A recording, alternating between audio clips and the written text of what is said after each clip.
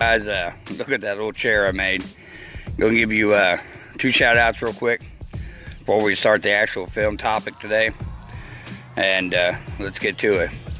So I want to shout out Jersey on the Trail. She's a uh, 2020 Appalachia through hiker. So uh, she will be on that trail, I believe, in March, around that time. So uh, be looking out for her videos. And uh, like, share, and subscribe herself as well.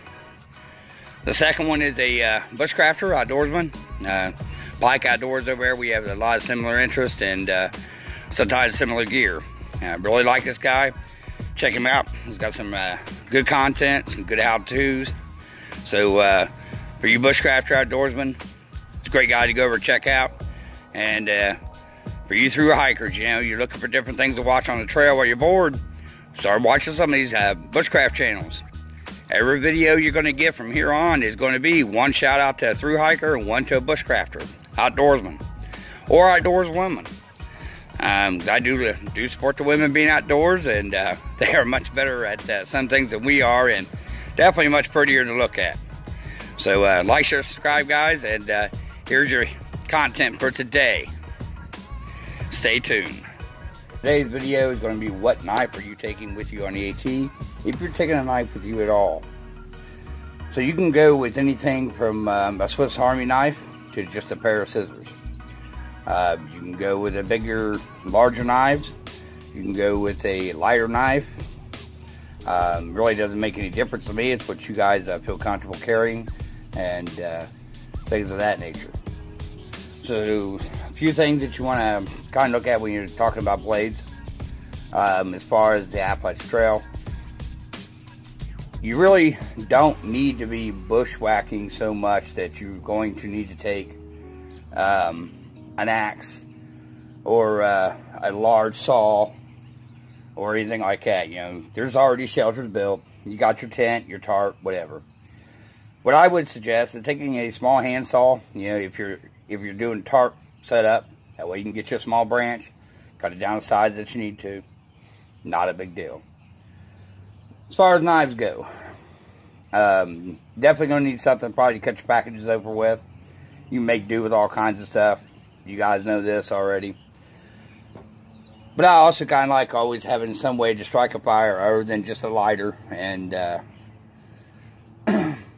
camp stove. Things happen, lighters get wet, camp stove igniters go out. So I opted for the uh, cheap lightweight op option here, which is uh, the Morris Survival Knife. Comes with a different ferro rod, but pretty much about the same thing as this. Um, this one just uh, gives you a faint glow at night, and it's it's a faint glow. It's nothing major. But uh, in case you guys have never seen these, um, comes with the uh, multi-attachment option that you can change out real easy. Goes with belt loops really works well when you stick it on your uh, sternum strap on your pack. This is uh, probably about 45 ounces. I mean, it doesn't weigh much at all. You get your sharpener there. Stainless steel, thick. It's a rat tail, meaning that that tang comes down to probably about there and drops off. So it's not a full tang, but it does pretty well. And uh, 90 degree spine for striking a ferro rod.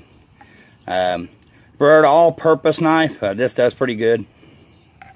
Uh, for everything you're going to do on the AT, that would be being at a campsite, um, uh, trekking along the trail, this is going to work.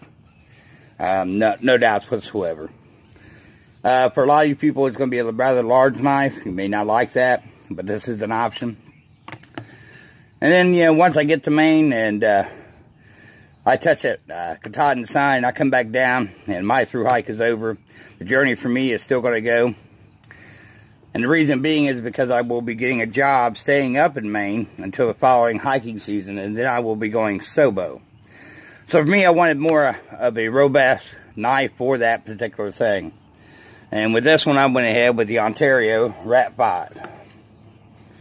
Uh, this is a uh, more of a survival bush knife, but uh, it's got tons and tons of usage already. No signs of uh, it being weak or breaking or anything like that. Um, this is a rather large knife. You're getting uh, definitely a much tougher. Um, I have actually put this into a tree, stood on it. Uh, no cracks, no bends, no breakage. Good thick spine. Uh, the only thing about this is that you're not going to strike a ferro rod off that spine. It just does not come with a 90 degree, so you'd have to do some work on that. But uh, all in all, good, solid knife. So those two blades that I'm actually taking with me. Um, and I'll be taking a silky saw, but that's other than that, I'm not taking any anything major as far as bushcraft or uh, survival or anything like that. Um, my Ontario knife will probably stay in my pack 95% of the time. Uh, the Mora is definitely going to be on my sternum strap. Um, it's just a great utility knife. Get these things razor sharp in no time. Cut anything I need to. Make sure you're checking the descriptions below because in this video they will I will put down the links and phone numbers to the Appalachian Trail shuttle drivers and the services that they offer. I will also go ahead and put in their website link. So make sure you are watching all my videos all the way through, otherwise you're going to miss that kind of crucial info. And one other quick tip. This is the uh, MOLLE 2 flashbang pouch. This can easily attach onto just your normal belt or any strap that you got on your uh, backpack. But it's a perfect fit for that. So, um, whether you're through hiking, hiking around, bushcrafting, whatever, $10 pouch.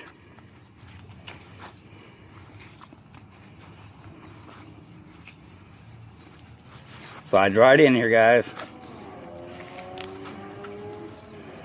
Clips over.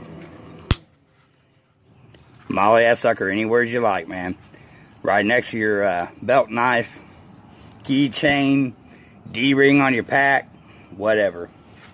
So there you guys, there you guys go.